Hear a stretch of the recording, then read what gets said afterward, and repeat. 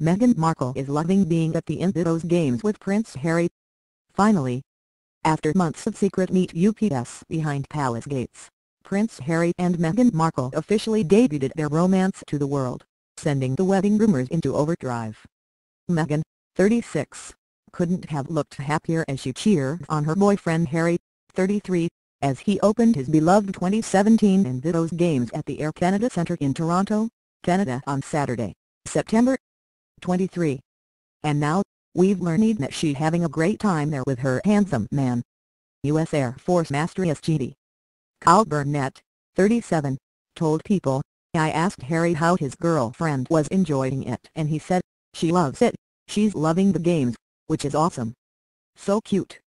Due to the couple not being married just yet royal protocol dictates that Meghan couldn't be seated with Harry in his VIP box during the event, but the start was only a few feet away from her man and joined by her best friend Markus Anderson, who is the mutual friend responsible for introducing them.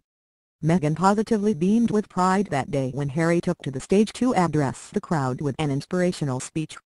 You are all winners. You are invictus, Harry said as Meghan clapped and smiled. Watch more of Harry's Invictus Games speech in the video below. Harry, who was seated with FLOTUS Melania Trump and Canadian Prime Minister Justin Trudeau, was seen looking down at Meghan, who was just four rows below him. Ah, although Meghan and Harry were not next to each other, the superstar was assigned one of Harry's Scotland Yard protection officers who, along with three other bodyguards, looked after her security during the event. Don't worry, though, they were later seen holding hands and sitting next to each other. According to the Daily Mail, royal protection officers are traditionally only tasked with looking after royal family members so the fact they're protecting Meghan, who is technically a citizen, is yet another huge sign of just how serious they are. Meghan looked stunning in a plum-colored Mackage leather jacket worth a cool $689 draped over her shoulders and a chic maroon dress and the actress is really making the most of having Harry in Toronto, where she filmed Suits. According to Hello magazine, earlier in the week the royal made a low-key visit to the show's set. He's incredibly supportive of her work. Meghan showed him around set. Everyone was so excited, an insider told the publication. This was a massive milestone for the pair, who have been dating for just over a year, as it marked their first official outing. Until now, Meghan and Harry have gone to great lengths not be seen together and have only been sighted in public together a few times. In March, Meghan joined Harry as his plus one for his best mate Tom Inskip's wedding in Jamaica's Montego Bay. In May, the actress was spotted cheering on her man from the stands at a charity polo match in Ascot, England.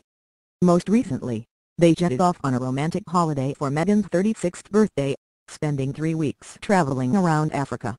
They also enjoyed a brief stay at Queen Elizabeth's Scottish Highlands estate in Balmoral, with speculation rife he could have introduced Meghan to his grandmother. And now, the Invictus Games makes for a very fitting debut, considering they first hit it off at the 2016 event.